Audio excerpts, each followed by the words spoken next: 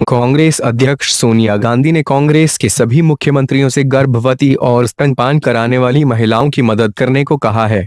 सोनिया ने सभी मुख्यमंत्रियों को चिट्ठी लिखकर कहा, सभी पात्र महिलाओं को राष्ट्रीय खाद्य सुरक्षा कानून एन दो के तहत कम से कम छह हज़ार रुपए की सहायता उपलब्ध कराएँ। सोनिया गांधी ने चिट्ठी में लिखा, जिन महिलाओं को प्रधानमंत्री मातृ वंदना योजना, पीएमएमवीवाई के तहत आर्थिक मदद नहीं मिल रही है उन्हें यह सहायता देना सुनिश्चित किया जाए।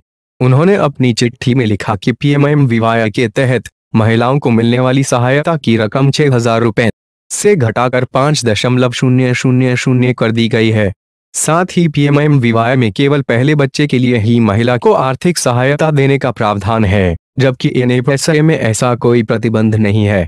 मनमोहन सिंह की सरकार खाद्य सुरक्षा कानून लाई यूपीए दो के दौरान मनमोहन सिंह की सरकार ने 2013 में राष्ट्रीय खाद्य सुरक्षा कानून, एनएफएसए, लागू किया था। एनएफएसए का उद्देश्य सभी को सस्ती दरों पर भोजन उपलब्ध कराना था। इसके तहत 50 परसेंट शहरी और 75 परसेंट ग्रामीण आबादी को सार्वजनिक वितरण प्रणाली, पीडीएस, के तहत राशन उपलब्ध कराया जाना था।